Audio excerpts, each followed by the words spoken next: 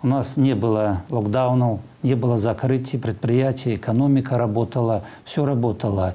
И сказать, что у нас больше заболевших, чем в других странах, или мы переживали худшие времена, абсолютно не так. Ну вот последние, опять же, новостные сводки показывают, что многие страны пошли по нашему пути. Это еще раз показывает то, что тогда, в то время, были абсолютно приняты правильные решения нашим главой государства, и это дало свой эффект.